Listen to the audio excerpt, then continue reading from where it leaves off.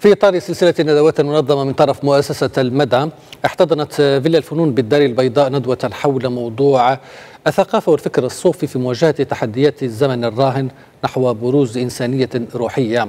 محاضرة شكلت فرصة لتدرس سبل توجيه المجتمع المدني والمثقفين والجامعة حول المحاور الرئيسية المتعلقة بالإنسان ومستقبله ولأي مدى يمكن للقيم الروحية أن تحافظ على الإنسانية في ظل الثورة التكنولوجية التي يشهدها العالم فضلا عن سبل تسخيرها لخدمة الإنسانية.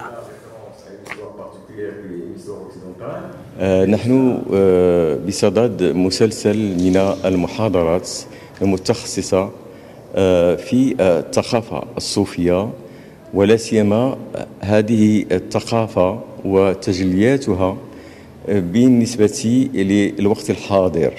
والمعاصر.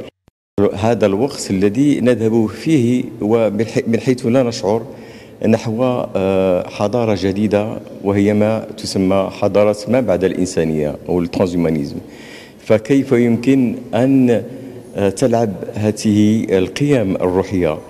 دورها في الحفاظ على الإنسانية وعلى ما هو أثمن في الإنسانية وهو الجانب الروحي في آه، اتجاه وفي مقابل ما يحدث الآن مع التكنولوجيات التواصل ليس لأن نخلق واحد التضاد بل تسخير هذه التكنولوجيا من أجل آه، آه، تنمية شمولية في نفس الوقت مادية وروحية للإنسانية المتجددة.